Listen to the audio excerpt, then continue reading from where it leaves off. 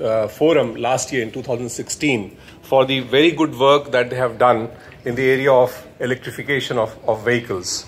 So his work is, uh, is in the area of transformational innovation of Revol, uh, Revolo, a smart green technology to market in India and abroad. Um, do we have Dr. Anatoly Unitiski? Yeah, welcome Dr. Anatoly Unitiski. He's the chairman of the board of CJSC Skyway Technologies. Um, he's a railway engineer and uh, he's got a lot of experience in the area of, uh, of, of, uh, of, railways and um, he uh, will be uh, basically giving us his idea about sustainability from the perspective of uh, the Skyway technologies. Um, yeah, and uh, he is uh, from Belarus. Yeah. Okay. So, we, are you the interpreter? Okay, you are the interpreter. Okay.